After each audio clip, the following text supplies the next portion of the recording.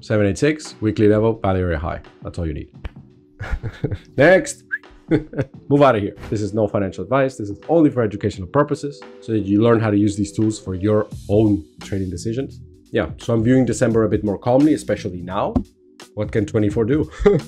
that should be a very, very exciting year. I think next year we're going to have a lot of fun, a lot of fun. So make sure to stay tuned to these updates because uh, I think there's going to be a lot to talk about. Well, one thing we can already talk about is the fact that not only that yearly level, but this monthly level here, I'm just going to draw it for you. This one up here has not been reached yet. So it could be that December, yeah, we have 13 days and 15 hours left, that December ends like that and doesn't even reach that monthly level.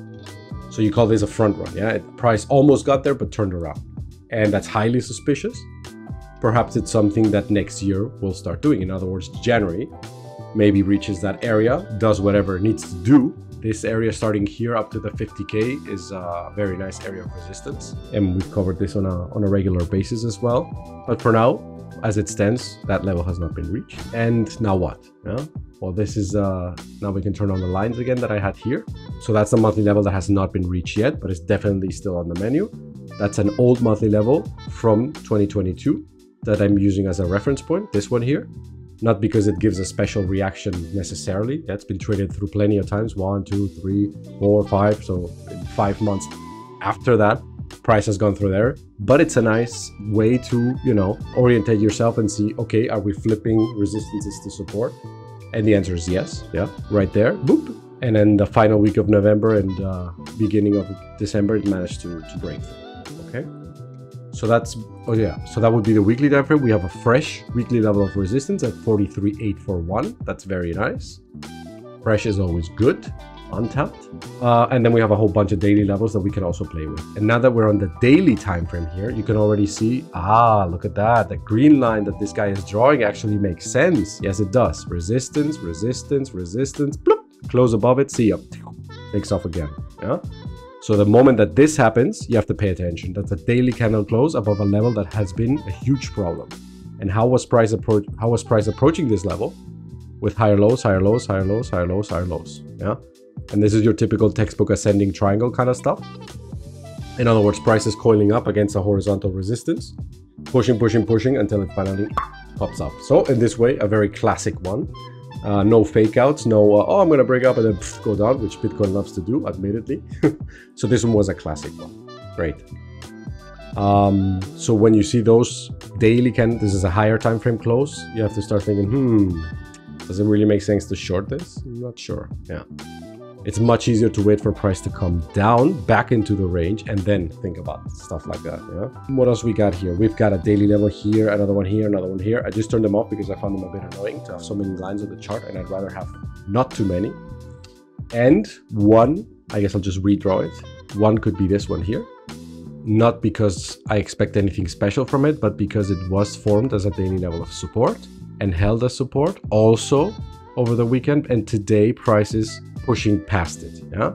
So locally speaking, if you want to think about this daily level up here, this daily level up here, and ultimately the weekly level up here for a possible move in this range up here, then this daily level at 41,245 must be reclaimed. In other words, price has to climb above it again, hold it, and then it can start moving up here again. And that would be your most local range not most local. You can go in the five minute and the one minute and then find other ranges. But um, that's a, a, way to view what we have now recently. And you can also, I'm going to include that one. Let's see. You can also pull the, using the fixed range tool, the month of December. Yeah, that's 1st of December, the entire month. That's your value area high, exactly at the weekly level. Ding, ding, ding, pay attention. And now we're at the value area low and we look at what price is doing holding it as support. Yeah. So that's an important support. That daily level, if it's flipped, starts looking like a possible bullish rotation to the upside. Well, bullish, just a rotation to the upside. Forget the words bullish and bearish. They're more confusing than anything else. That point of control is going to be a problem. That is resistance as it stands. Yeah, at 40, what is this? 41, what, 41.9, okay? That is resistance. That's going to be a problem. If it beats that, great, next daily level. If it beats that, great, next daily level. And then there's your uh, possible end target for that rotation. Yeah? Of course, it can go higher and hit the monthly level. I'm not saying it can't, But um, yeah, if we just look at this, there you go. 786, weekly level, value area high. That's all you need. Next. Move out of here. This is no financial advice. This is only for educational purposes so that you learn how to use these tools for your own trading decisions.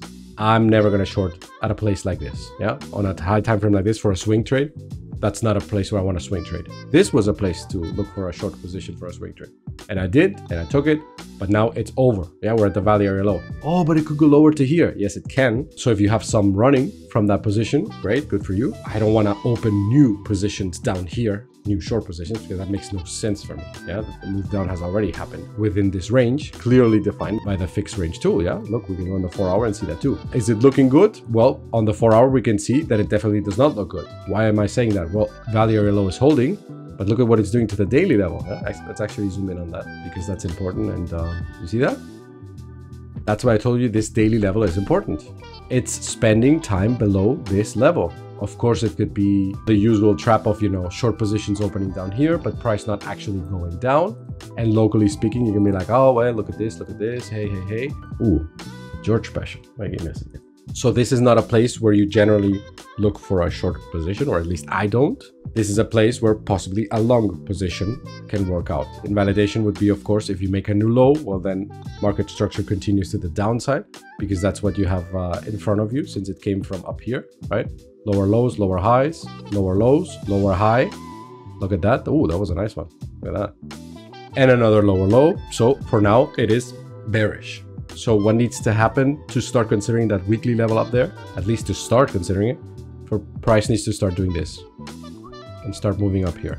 Okay. If that's the case, then we can start thinking about a rotation to the upside. If not, and this continues to make lower lows, lower highs, lower lows, lower highs, well then that's the old monthly level, but much more interesting is this year. That's a very interesting daily level because it's the one that was left behind when they started moving up. And this is a, just like the monthly level, a very nice resistance support flip area. So the same thing I said last time, traveling back to this area and then bouncing would be a nice bullish retracement. Yeah, locally bearish, but in the high time frame, bullish. So that's still definitely a, a very nice possibility. This was a pretty cool dramatic pivot to the point of control down here. I remember that. This lines up nicely as well. Yeah, on monthly level, got your 7-1, your George special, the daily level, and the and this area as possible support. So if this picks up speed and actually breaks away from this value area that we have up here, which value area? Let me show you again. Right there. Boom, boom. That's your value area low. That's the important support right now. If this is lost and it starts, of course, it can do a swing failure pattern of these lows. That's another possibility.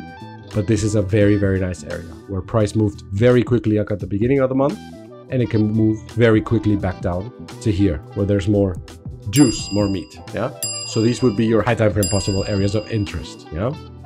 Elevate your mastery in trading. Join the Safehouse Vanguard today.